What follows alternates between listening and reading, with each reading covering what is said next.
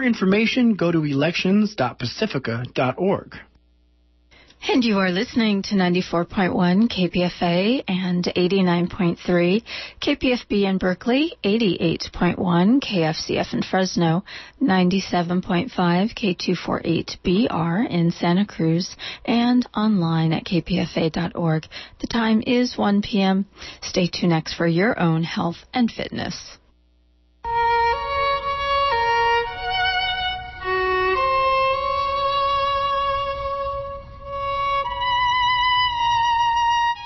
Welcome to your own health and fitness. I'm health integrationist Layna Berman with Jeffry Fawcett, and we come to you weekly with a critical, independent voice on the politics and practice of health and the environment. An unfortunate characteristic of the human animal is the ability to throw ourselves into a full on stress response with a thought. Stanford neurobiologist Dr. Robert Sapolsky opens his book, Why Zebras Don't Get Ulcers, by describing how you can wake up at 2 a.m. worrying about an important presentation you need to be rested to do. While worrying about not sleeping, you notice a vague headache and start imagining that you have a brain tumor. Animals don't do this.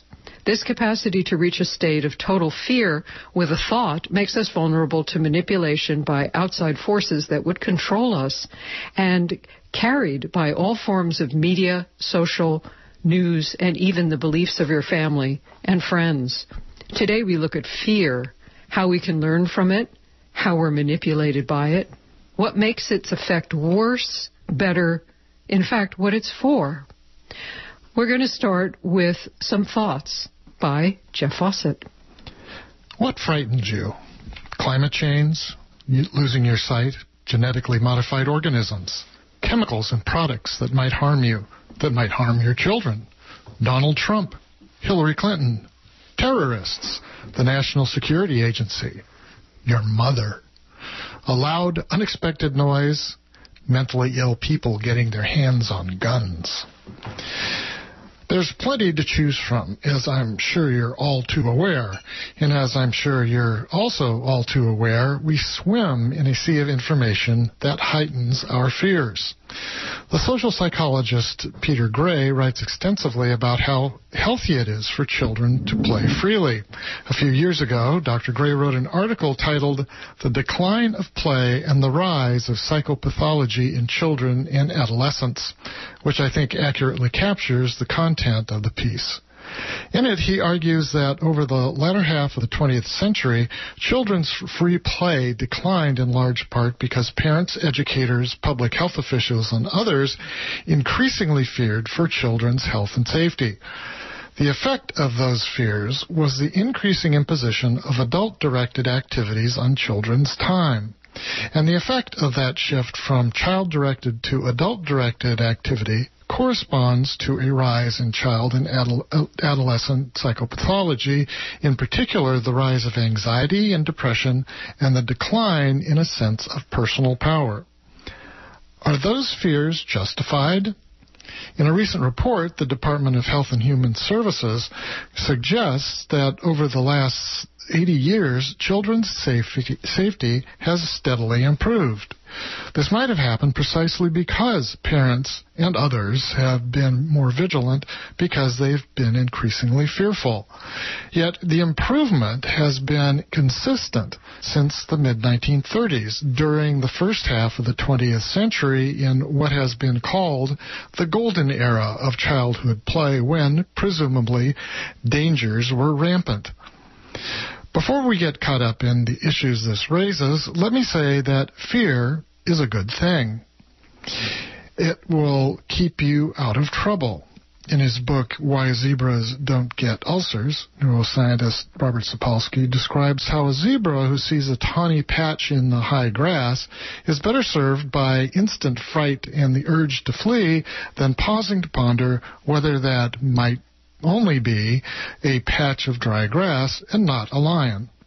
In fact, that's one place where fears come from natural selection. Zebras who startle are more likely to escape predators than zebras who ponder. Those more inclined to startle and escape are more likely to survive and breed and make more zebras that startle and escape. Neuroscientists such as Joseph Ledoux talk about stimuli and responses that are species typical. Ledoux reluctantly refers to these as innate, what frightens a zebra or a human without thought. For example, humans and other primates are prone to be frightened by snakes. Zebras, not so much. The point here is that the things that frighten us and every other kind of creature and the way we and they respond has a long evolutionary history. That, of course, is true for the full range of our emotions, not just fear. The way we and other creatures respond when frightened is captured by the well known triad fight, flee, or freeze. And that's what fear mobilizes in you all the physiological mechanisms you'll need to do one of those things in order to avoid being eaten or damaged or incapacitated before you can breed. I don't want to make it sound as though our innate fears are all instinctive. We learn to avoid dangerous or unpleasant people, places, and things. Once learned, we don't have to ponder how to respond. We just do. That's what makes them innate. The classic experiments in conditioning are all about how exper- experimental animals, such as rats, are taught to do or not do certain things based on how scientists manipulate the animal's environment. The electric shock and the food pellet being particular favorites. The good news is that innate fears can, to some extent, be unlearned in a physiological process called extinction. A rablat uh, a lab rat that is taught to associate pain with a particular environment will get stressed out when forced into that environment. But if he or she ceases to experience pain, the anxiety will dissipate or even disappear altogether. Humans engage in psychotherapy, self help books, and counter learning experiences of all sorts to have the same effect. Fear can also be a bad thing, of course, because it can get you into trouble. Lions typically hunt in pairs. One frightens a zebra who runs into the paws of a waiting mate. So the fear induced impulse to flee ought to be tempered by some pondering as to which route his or her flight should take. So if Donald Trump scares you to death, you might want to consider whether fleeing to Hillary Clinton is the best response.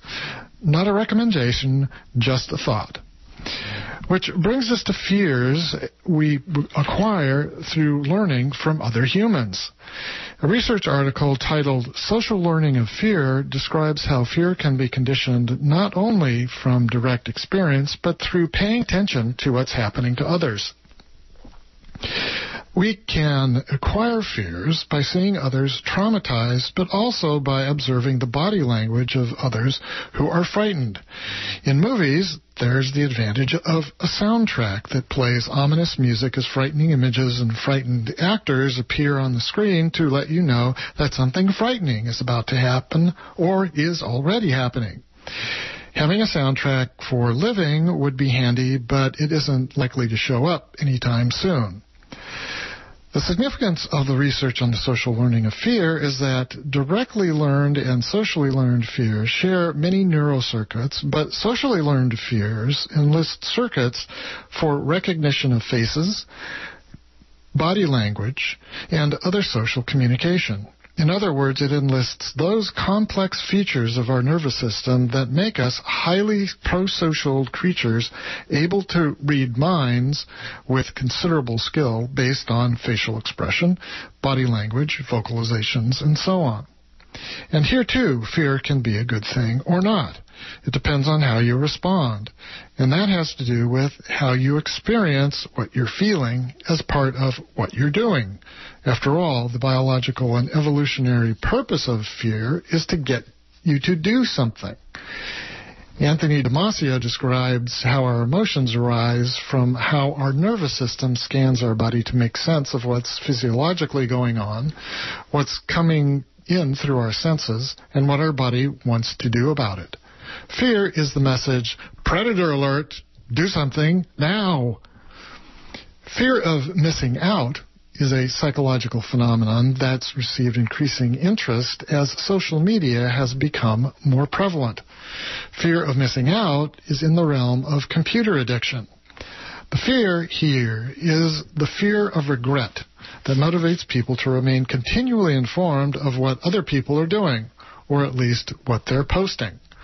I don't think this is a particularly new fear, just one that's significantly enhanced by smartphones and tablets and other technologies designed to keep people permanently gossiping.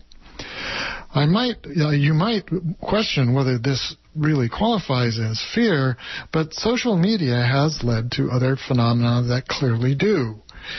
At last year's annual conference of the British Psychology Society, researcher Pam Ramsden reported the effects of horrific, horrific unedited images available through social media on the emotional state of viewers.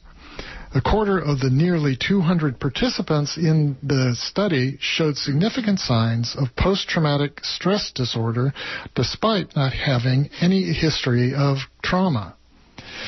The significant background to the study is that it has been known for some time that many people's occupation subjects them to traumatic events that also elicit symptoms of PTSD, particularly among healthcare workers.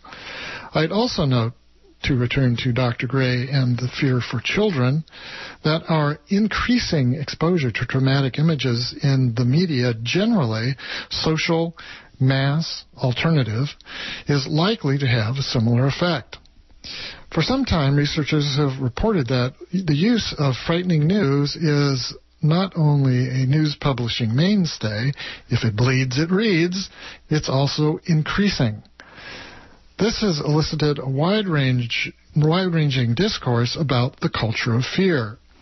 The core argument in this culture, in this literature, is that if it bleeds, it leads is not just old newspaper wisdom, nor a sad commentary on human nature, whatever that's supposed to be. Instead, it is one of the many methods carefully invoked to traumatize people in order to better control them through a wide variety of methods for disseminating information. The biology of how this works makes perfect sense. Your nervous system works to get you out of trouble when you're afraid. It's one of the ways in which it's good for you, at least when you're actually in danger. For example, when afraid, your attention is focused on the source of the threat. That zebra is that zebra is paying close attention to that lion if it is a lion. Of course, the zebra may, might not pay much attention to the whereabouts of the lion's hunting partner. So maybe the smart zebra studies the hunting behavior of lions by watching how other zebras get hunted by lions. If they had opposable thumbs, they could invent technologies that record lion kills, and then other technologies to broadcast those recordings to other zebras as part of a routine communications methodology that might be called, oh, the news cycle. But zebras don't have opposable thumbs and so don't have those technologies and so also don't have a news cycle feeding an unquenchable thirst for information and so are not cursed with the fear of missing out. Instead, and this is why zebras don't get ulcers, they outrun the lion, but not always. And then their body rolls back on all the charged up physiology that's referred to in the neuroscience literature as the fear response. Some of this consists of physiologically releasing the effects of fear, for example, by shivering. And fairly soon, the zebra is back to normal life, a normal life of grazing. It's called recovery. What happens if you live in an environment that saturates you with information about traumatic events. Lions at every turn. An environment and its associated information cycle that doesn't let you recover. Humans and other creatures not only pay attention differently when frightened, they think differently. An experiment plotted what's called a response curve for trading off one thing for another. That is, what you want and what you're willing to give for it. The experiment first experiment uh, established trade-offs under normal conditions. When fear was introduced into the experiment, subjects acted irrationally according to the normal trade-offs. Irrationally meant that their choices weren't consistent with how they previously made choices under so-called normal conditions. But the choices were internally consistent for being in a state of fear. In other words, the subjects, when frightened, might seem irrational as compared to their normal behavior, but quite rationally for being in a state of fear. The Ramsden study I mentioned earlier that found a quarter of people who viewed traumatic images showed signs of post-traumatic stress disorder also found heightened stress and anxiety in the other participants. The point of which is that in experiencing or observing frightening events, your response is not either or, either blind fear or utter indifference. It's on a continuum between indifference and to panic. Where you land on that continuum will depend on the exact nature of the danger, how capable you think and feel you are to deal with it, and how sensitive you are to threats generally and of that particular kind of threat. All of which come from your personal and family history. For example, in a study of children's reactions to the 2013 Boston Marathon explosions, the more exposure to media coverage children experienced, the more they developed post traumatic stress symptoms. But children with greater sympathetic nervous system reactivity were even more likely to develop post traumatic stress symptoms. This should be no surprise since the sympathetic nervous system is responsible for the stress response and the, and the fear response. And it also should be no surprise to find out that some people are more easily frightened than others. Some people experience greater trauma than others in the womb, as they grow up, as they mature. Some people are innately more sensitive, not because of bad luck or bad genes, but because trauma in earlier generations gets passed along to later generations. For example, rat mothers who were not nurtured, nurtured as pups are not good nurturers to their own pups. But are we collectively more easily frightened now than we used to be? That's what Peter Gray suggests when asking why children's free play has declined and, as a consequence, why child and adolescent psychopathology has increased. Remember that these are children who are more anxious and have a lower sense of personal power than earlier generations, and that these children will likely grow into adulthood more anxious and with a diminished sense of personal power. Dr. Gray is right, of course. The bad news didn't just fall from the sky. The culture of fear is quite intentional, and the intention is to manipulate us to accept a way of life that is not in our interest. The culture of fear is promoted through the dissemination of information, no matter whether the source is corporate or alternative. The extreme is the mobilization of fear in what has been called moral panics by design, where the very life of the culture, the nation, the, our way of life is made to seem in danger of eh, made to seem in danger by what our leaders tell us. Terrorism being a prime example. The lifeblood of the moral panic is information which begs the question is it possible to be well informed without being traumatized? Well, I think we, we believe that that is true. And if we have time at the end, I guess we'll talk about some of the stuff we've been hearing on the radio, like uh, generative. What is it called? Generative. Generative journalism. Journalism. You're listening to your own health and fitness. I'm Layna Berman. Jeff Fawcett has just uh, finished sharing some thoughts of his. I'm going to give it a go, as they say, on this topic of fear, which is what we're talking about today. And some of this is going to overlap with uh, what Jeffry was discussing because he did the hard work of looking up a lot of research and came back into the house with a pile about the size of a small phone book. And I looked through it and sort of picked the things that struck me. So there's a little overlap, but I'll be covering it from a slightly different angle. Um, again, the topic is fear, and the show is your own health and fitness. So, you know, this business of us having two different types of nervous systems the sympathetic, which is the one that makes you more apt to respond strongly to messages of fear or, or hyperarousal in general. Very important part, you can't live without that. We also have a parasympathetic, which is what helps you to go to sleep. And then we have basically the difference between the two types of people are there are the people who fall asleep on airplanes and those that sit holding white knuckling their uh, the the seat arms or sympathetic dominance. And good luck if you're a sympathetic dominant because it's much harder to um, you can, it's very hard to overcome having sympathetic dominance. And I think that the key is not to try to escape your nature, but to counter it with other experiences so that the things that made you more sensitive and more sympathetic dominant are uh, cared for so that you care for those things in your adult life. Um, clearly, people who, as Jeffry mentioned, have come from lines of people who um, suffered lots of trauma uh, and there's so many different groups now, and it continues.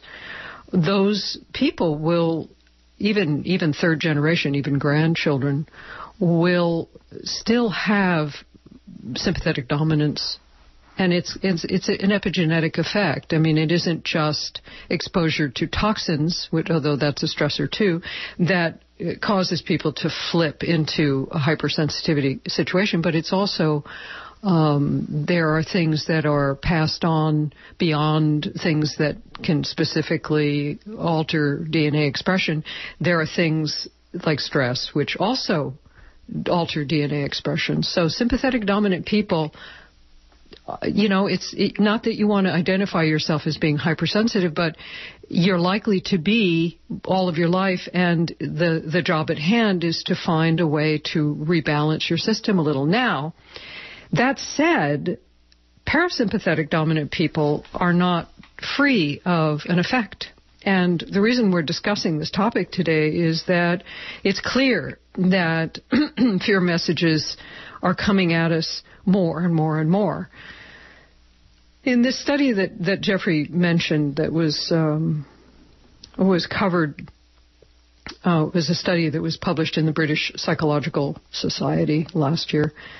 Even those with no history at all of trauma scored high on clinical measures of P- PTSD when exposed to media, media coverage of violent events. So everyone gets this.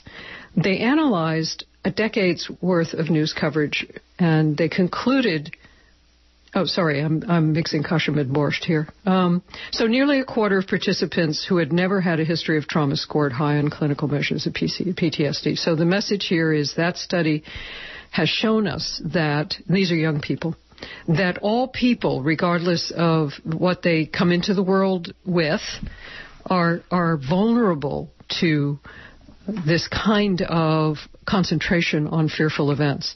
And another uh, study that was done in, that was studied a study that was done in, in reported on in 1999 in the Sociological Quarterly was discussing an analysis of news coverage over a decade, and it won't surprise you that this period that's well in advance of of 9/11 showed that during this decade there was an uptick in the coverage and concentration on fear.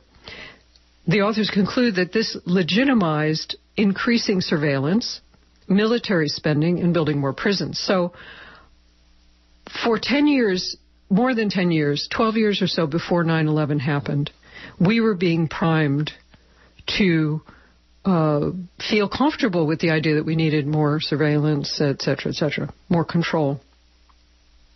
Now, the authors point something out that I found important. It's an important distinction. They distinguish between fear and danger. Fear is something, uh, fear is, it, it leads to a kind of powerless state. You know, you just, you're kind of paralyzed by fear or you're running away. But danger is something that you can, you, it leads to action. In, in face of danger, people act. and they're not powerless. So there is this distinction between whether you are mobilizing people to do things, to, to make plans and whatnot to, to protect themselves versus making people feel powerless with fear.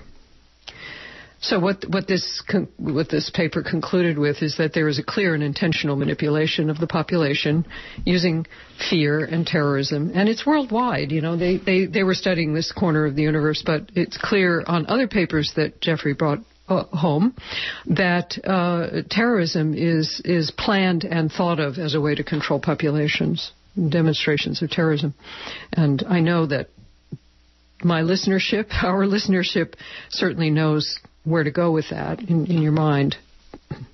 Another study that uh, was was from the University of Buffalo.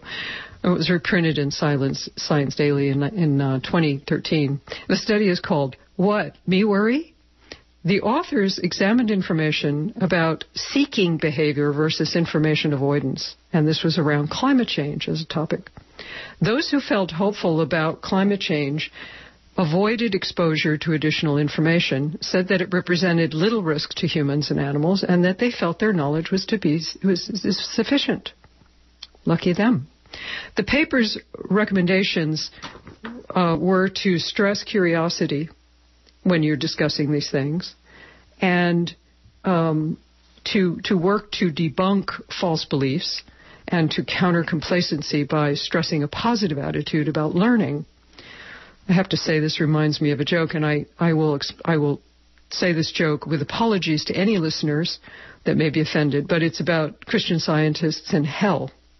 And they're standing around with flames burning everywhere saying, I'm not here and it's not hot. Well, this leads me to a question about whether or not we should trust our feelings. Um, there's there's ample reason to think that strong feelings shouldn't be trusted, but I really believe that they are messengers and need to be witnessed and heeded, not necessarily acted out on in the moment. Remember that perceiving danger allows us to avoid it. So again, the distinction between being paralyzed by fear versus uh, perceiving danger and doing what needs to be done. And again, the reason we're concerned here is because we may be getting manipulated uh, by fear in the media and in the culture right now.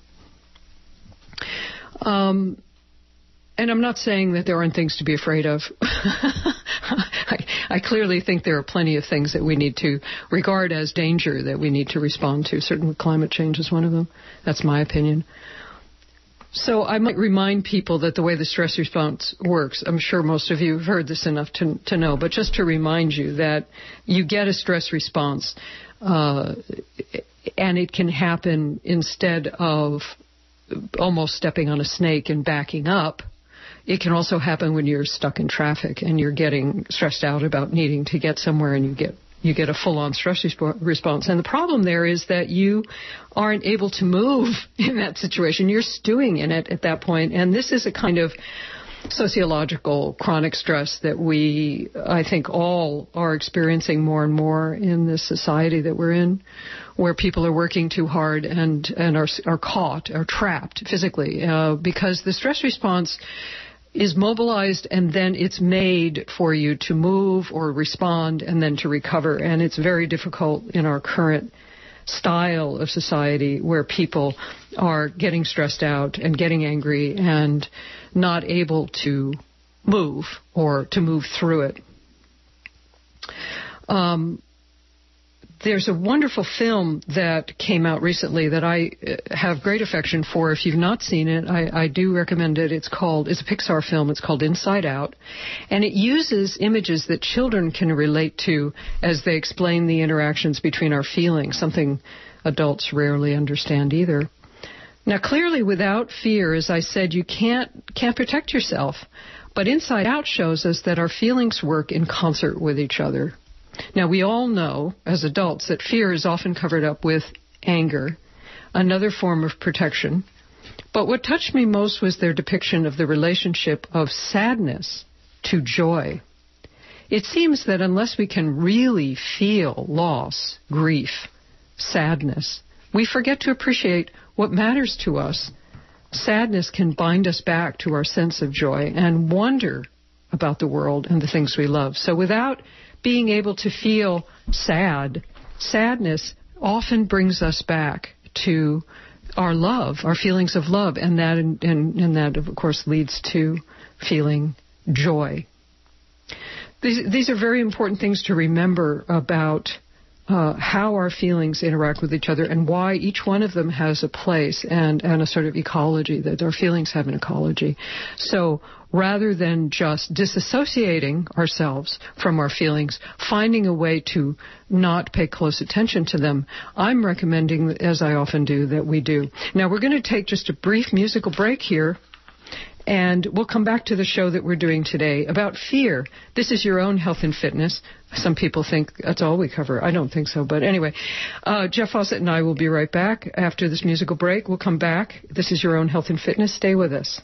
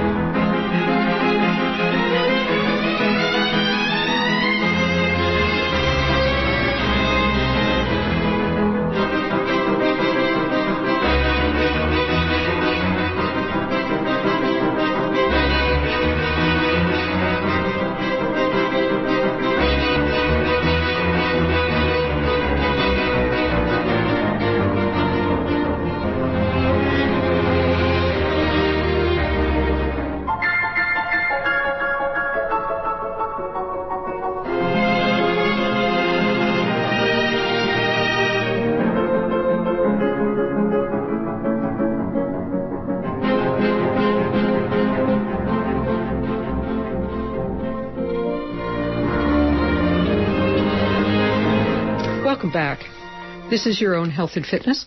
Visit our website, yourownhealthandfitness.org, for easier extended access to our over 600 archive shows with our library card feature. There's a free stream of this week's show, and there's lots more at yourownhealthandfitness.org. And if you wish to reach us, please do that by email. It's admin, A-D-M-I-N, at yourownhealthandfitness.org. Back to our show about fear, which we believe is uh, becoming a cultural norm right now.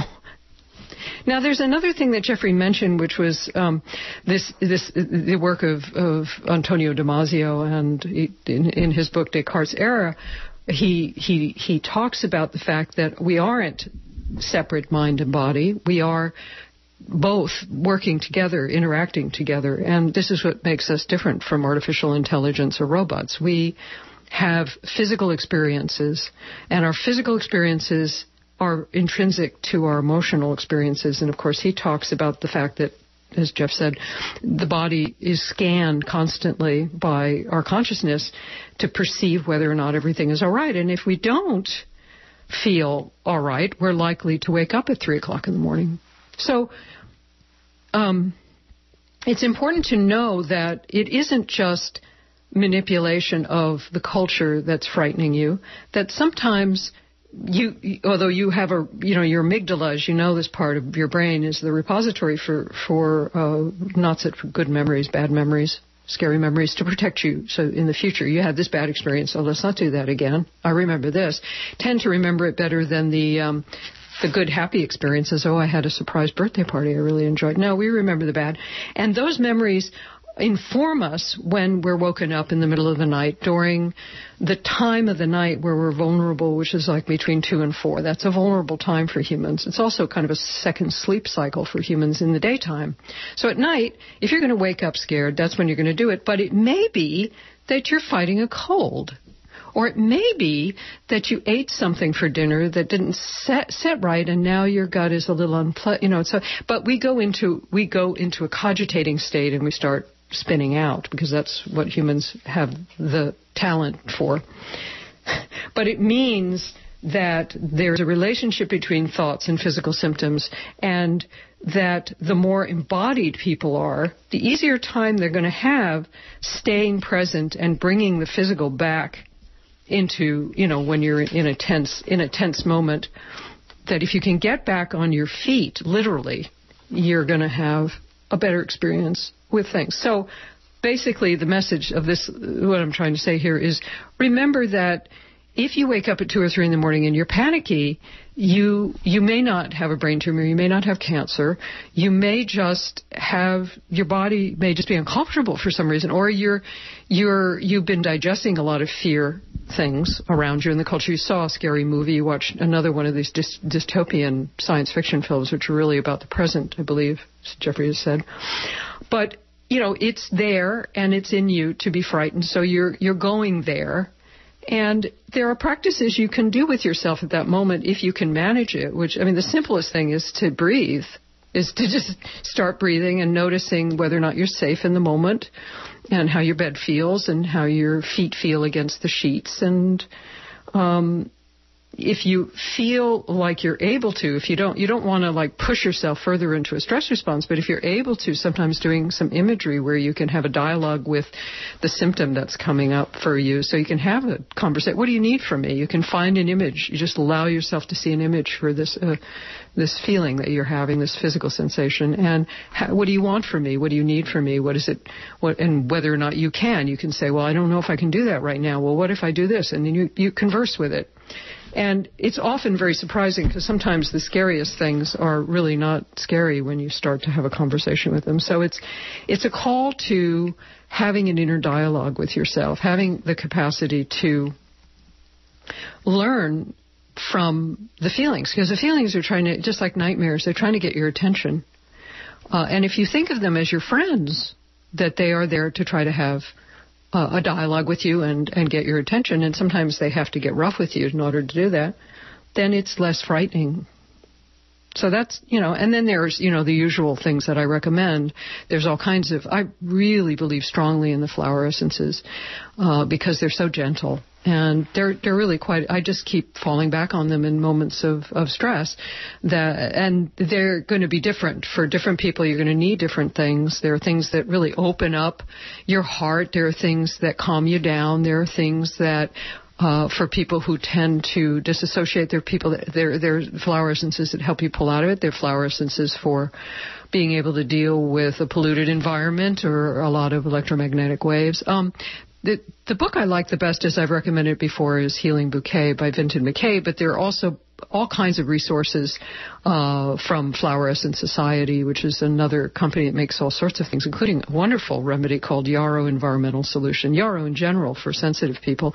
And then, as I said, there's uh, just a myriad things that help you pull, you know, get through anger, anger or impatience, or just really astonishing. And I find making making a combination bottle of those things and using it when you wake up. And then there's just rescue remedy, Bach rescue remedy and Bach rescue sleep. There's things like rubbing uh, some lavender on the bottoms of your feet, some good organic lavender. So the point is to just help your body calm down at that point so that you can you know, and then maybe maybe you read uh, car, you know comics, not scary comics. Maybe you read Calvin and Hobbes at that hour of the night. I don't know what works for you. Fairy tales, things that are not frightening anyway. So uh, it won't be surprising that I will tell you that regular physical practices help you rebuild this relationship, obviously, right? Meditation, yoga, qigong, exercise, just getting outside in a tense moment, and that can include at night if you're in a neighborhood where you can do that or if you live in the country. But just changing your environment, and possibly if you're really getting plagued by uh, distressing and frightening thoughts, maybe even exploring the possibility of moving somewhere else can help you to counter the helplessness and feeling trapped that can happen for people sometimes. Um, or what other kind of work can I do for a living if this isn't working? Since feelings do, as as we learn in Inside Out so so well, using wonderful little characters in cartoons, since feelings go from one to another in a wheel, for instance, fear goes to anger. And we've all experienced that. You start to get afraid and then you get angry at someone. Um, stopping the wheel and exploring the feeling you're having may help you to examine what, if anything, the feeling's trying to alert you to and whether or not you're dealing with old fears that are stopping you from moving on, etc. So, our stress response is absolutely, you know, the body does things for a reason. The stress response is absolutely critical for learning, learning and adaptation. That's what it's really for. So, as I said, that's why we tend to retain more bad memories than good. And the mobilizing effect of fear may help us to make critical decisions going forward. So it's not very helpful when it paralyzes us. And again, I'll remind you of the whole issue of danger versus fear. So it brings up, it's a call to action. What do we need to do to change or to protect ourselves? I mean, obviously, if if you're in a critical situation where you need to mobilize yourself very quickly and make fast decisions, which is what fear is for, then you, are not going to, as as Jeffrey said about the the um, zebra, you're not going to stop and cogitate about whether you're, you know, have a conversation with another zebra about whether that actually is grass or a lion. You're going to move, and the same is true in any dangerous situation that you're in. It's interesting that. Um, it reminds me of a of, a Zen story about being in a rowboat in a fog on a foggy lake, and um, if if the rowboat, I believe this was a story that was told by Joko Beck, but in the if if you're in the rowboat and you're very peaceful and it's foggy, another rowboat comes and drifts over to you and bangs into your rowboat. If it's an empty rowboat, you're going to just push it out of the way. So that's like fear versus danger. You it isn't even danger. You just deal with it. You're just dealing with it. However, if the rowboat is full of other people, you're likely to get into an angry state or an argument or something else. And what she says is the lesson here is that all rowboats are empty rowboats. So, what's important during intense emotional moments is if you're feeling really intense emotions, that's not the best time to make big life decisions or even to maybe act out in the moment. again, unless you need to run. So the reason for this is because critical thinking is trumped, and the pun here is intended, by high emotion. So if you're feeling a lot of very, very strong emotion and you have the luxury of being able to wait, it's always good to wait before you act. Uh, it, it, as, as I mentioned before, the stress response is a learning and adaptation response because you, you have stress hormones go up when you're uh, teaching yourself new material or learning to play music or do or anything. It, but, but but the learning, the stress response, the the release of the catecholamines and the stress hormones is particularly designed to have you learn and then rest. So recovery is critical.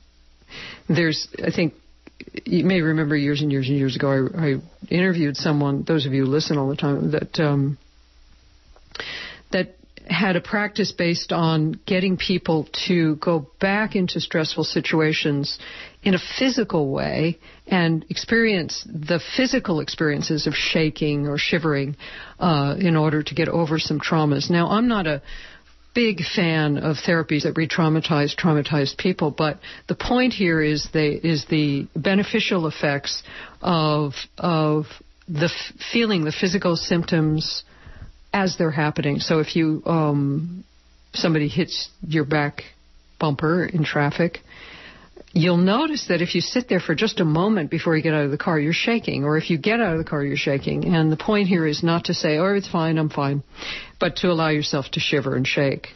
So to give give the body that moment to experience what's going on and then start to recover. Um, but if you're if you're not recovering, if you are someone who is, shall we say, being coerced by a work situation or a family situation to never recover, to never rest, it's it's likely that you are more likely to wake up anxious in the middle of the night because you're overtired. So you'll get a you'll get an over overly an overly strong stress response from exhaustion. So you push through the initial stress response, you don't recover, then you really get hit. And if we believe that people are easier to control when they're paralyzed by fear, you can guess that along with fearful images in the media. A society that's designed to keep people overoccupied and overwhelmed will also contribute to a population that's easier to control.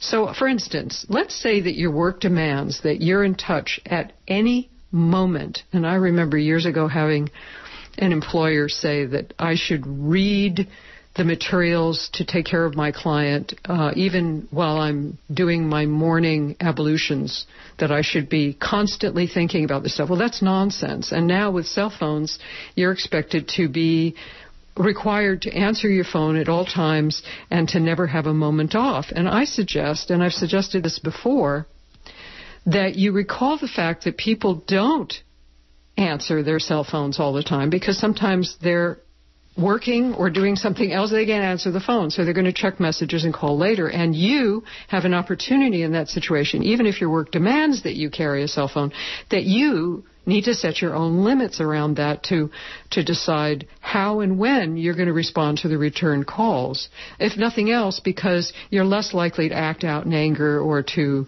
be explosive if you're if you have some buffer zones, if you have some margins around what's happening. So I believe in the future that it will be illegal to require this of employees, this business of, of um, uh, expecting them to be in touch at all times. You're listening to your own health and fitness. I'm Layna Berman with Jeff Fawcett. Jeff Fawcett started us out with his own comments around fear. That's the topic of today's show. And um, I'm now sharing my two cents.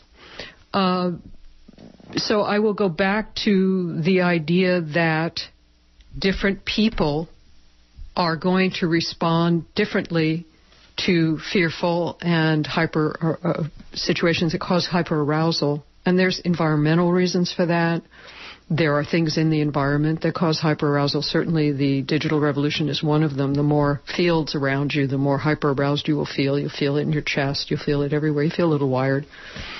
So there are things that will be difficult for people to manage if they are more sympathetic dominant and and for sympathetic dominance, who I always feel protective of, I recommend that you find strategies for making room for your sensitivities and taking your sensitivities seriously. You don't have to get other people to take it seriously. In fact, I recommend that you don't discuss it too much with other people. You just tell people what you need from them.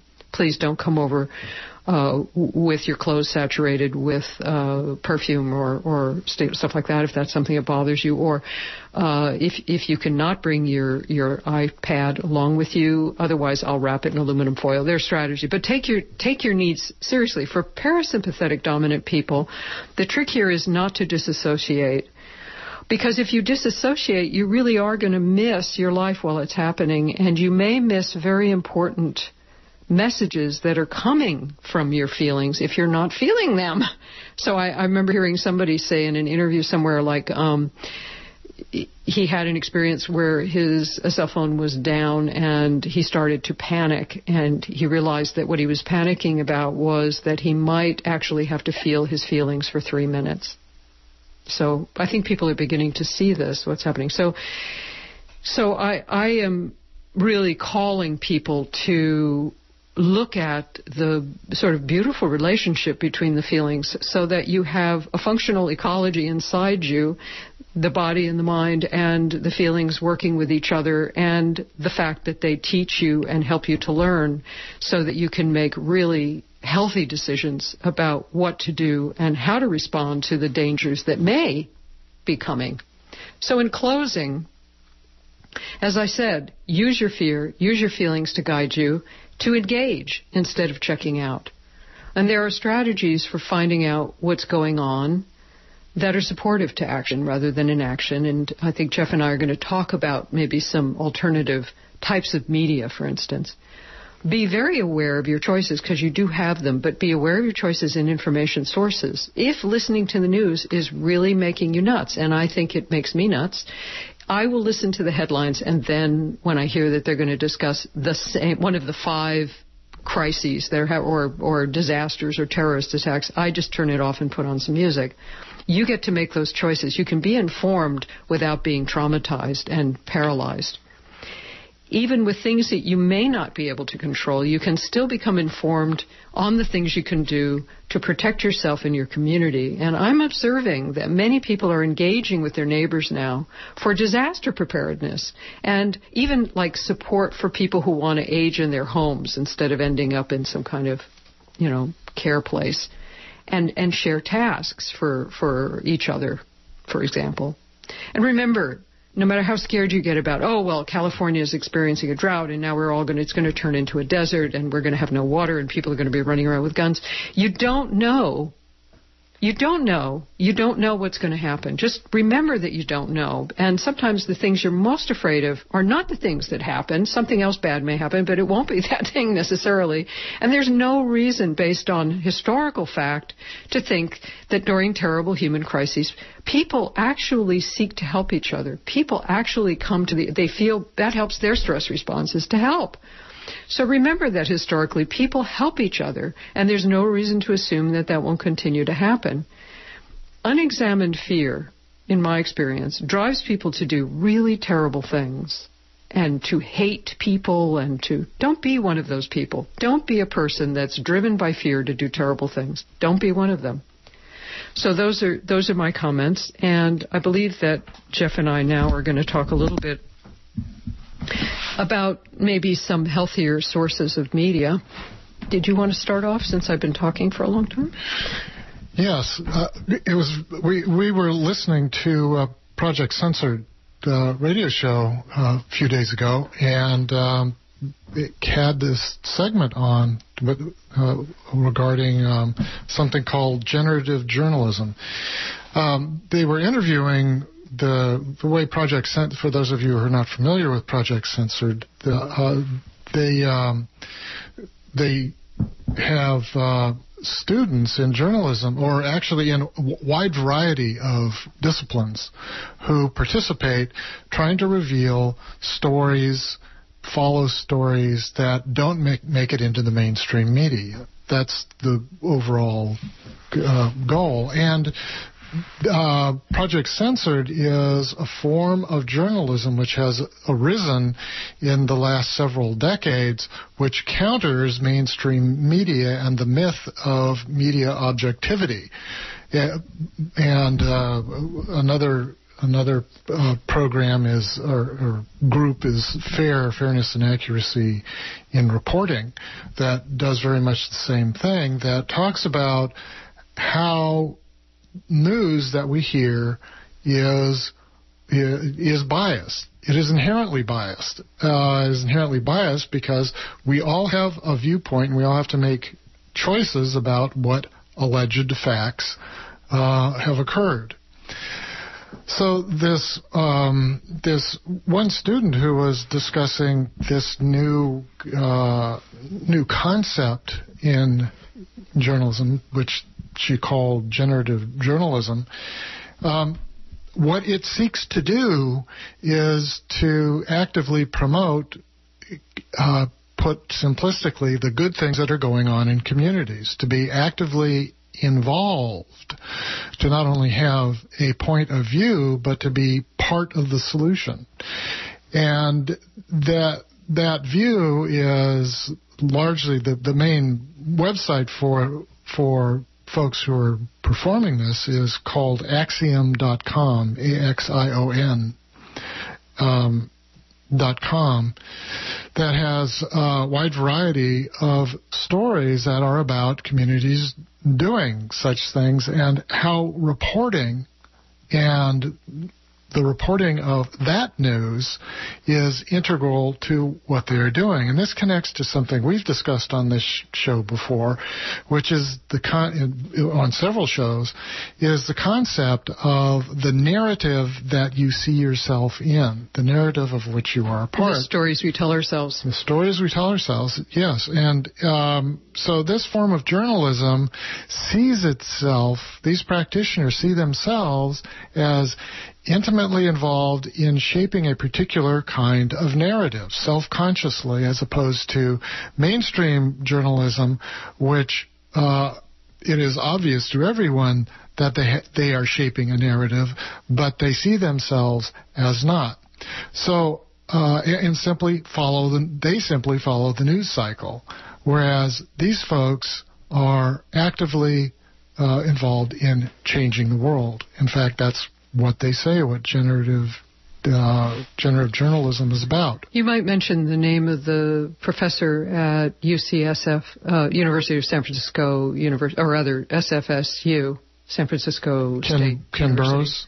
Ken, Ken- Burrows, B U R R O W S, Ken. Yeah, Ken with two N's. Yeah. Oh, with two N's. With two N's. So people Uh, can look for him as well. Um, it's on the information on this is on the uh, Project Censored website.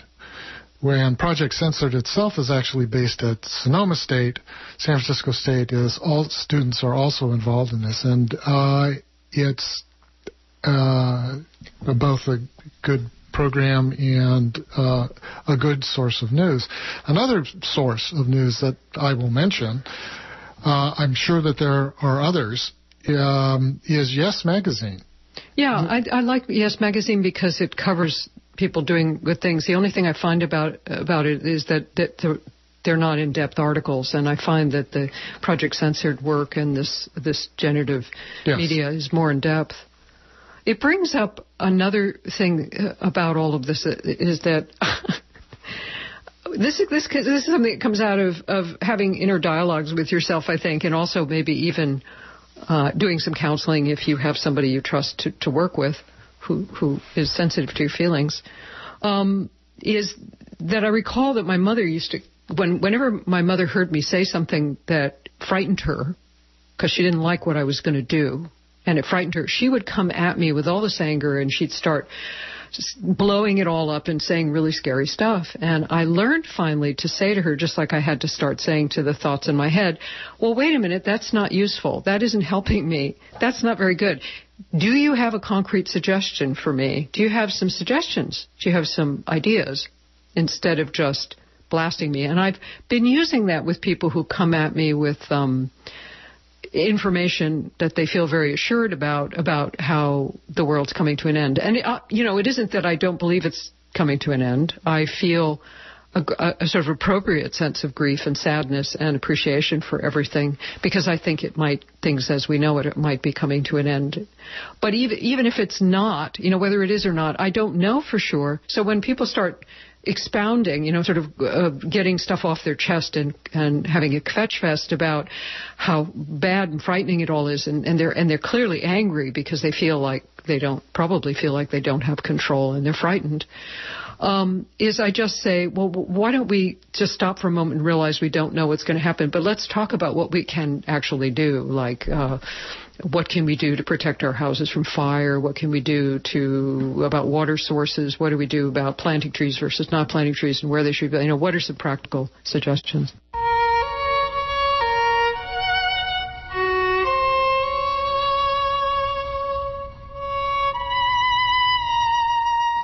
Anyway, I think that about wraps it up for today's show on fear. This is Your Own Health and Fitness. I'm Layna Berman with Jeff Fawcett.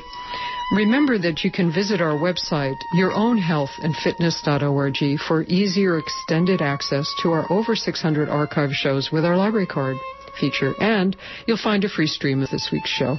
It's all at yourownhealthandfitness.org. And our email address, if you want to get hold of us, is admin at yourownhealthandfitness.org.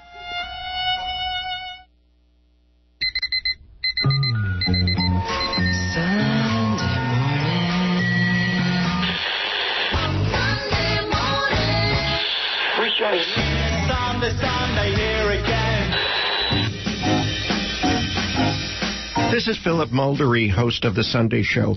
Join me and my guests every Sunday morning, 9 to 11. We'll be talking about politics. We'll be talking about the state of things around us. Plus, we open the phones to your called in questions and comments. That's every Sunday morning, The Sunday Show on community powered KPFA.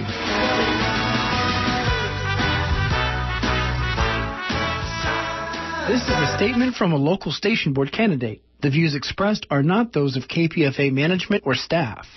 Hi there. My name is Yuri Gottesman, and I'm running for the local station board to help ensure that KPFA remains a place for radical, truth telling radio. I've worked in the labor movement for more than eight years, about five years as a union organizer and three years as a union attorney. One of my skills is the ability to bring people together, and I believe I can do that for the board. So why should you vote for me, Yuri G? I'm down to earth, practical, and I work hard. People call me no nonsense.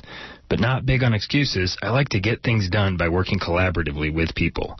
I'm proud to be supported by all the endorsers at SaveKPFA.org. Please vote for me, Yuri G, and the rest of the Save KPFA slate. Thanks for listening. For more information, go to elections.pacifica.org.